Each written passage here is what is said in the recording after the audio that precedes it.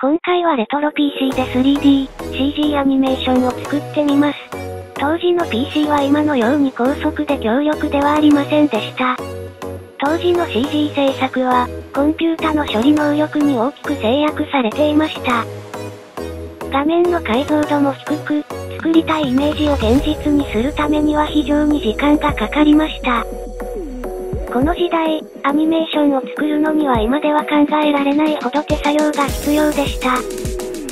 この動画は、最終的には現代の CG とは比べ物にならないほど、荒い画質に仕上がりますが、それでもあの時代の魅力が詰まっています。レトロ PC の時の流れを感じてもらえると嬉しいです。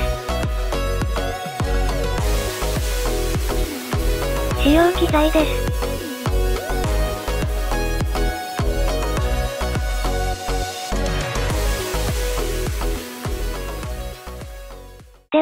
これから 3D、CGA を作っていきます。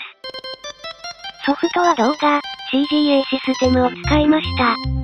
動画、CGA システムは、モデリングツールと複数のツールで構成されていますが、今回はお試しシステムというものを使います。これは、モデル、背景、動きがあらかじめ設定されていて、好きなサンプルを選択するだけでアニメーション作成ができる優れものです。今回はフロッピーディスク容量制限があるので画質は最低設定です。作成しますをクリックしたら、あとは完成を待ちます。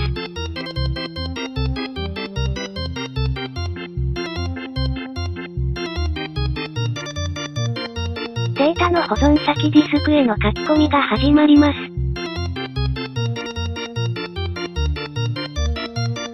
書き込み先ディスクを起動ディスクにする処理が走っています。完成後ディスクで起動させると、後で完成アニメーションを見ることができます。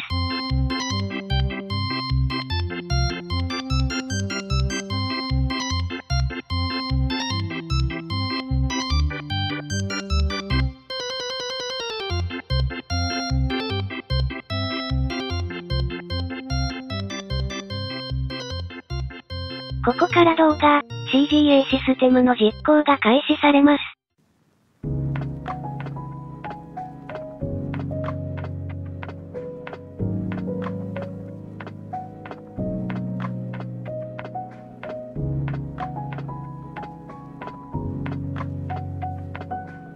そろそろ処理の遅さにドン引きし始めた頃でしょうか？そこで、心安らぐ BGM を当てておきました。CGA 作成が始まったらストップウォッチを表示させます。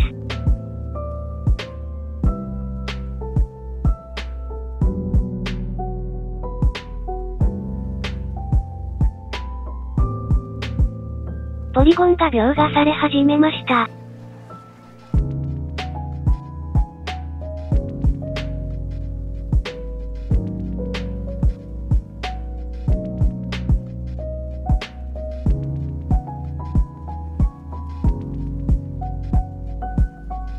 ポリゴンを書き終わったら、色塗りフェーズに移行します。パラパラ漫画の要領で、1枚ずつ絵を描いていきます。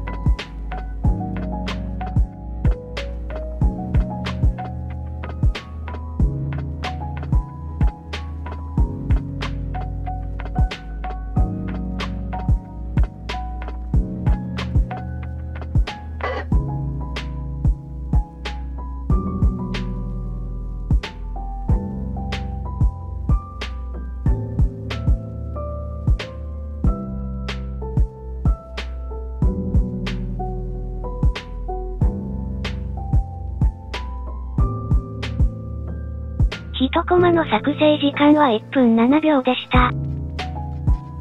ここからは10倍速の早送りにします。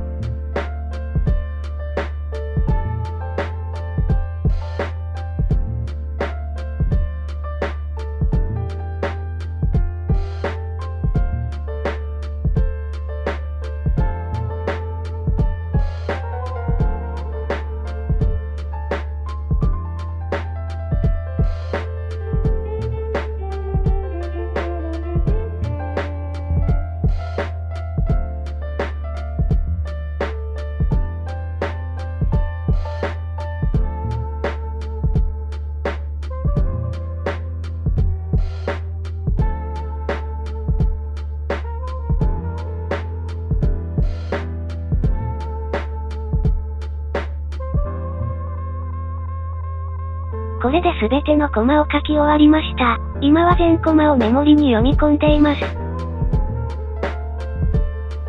1時間18分25秒で完成しました。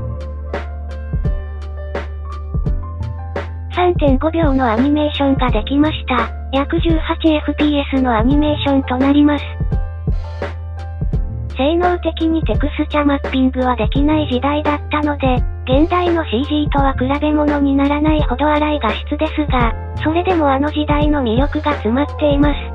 GPU なしで、すべて CPU 処理で実現していたことを考えると、すごいと思いませんか？当時の限られたリソースの中で、これだけの表現ができたこと自体が、まさに技術者の工夫と情熱の結晶です。今回の動画はここまでとなります。ご視聴ありがとうございました。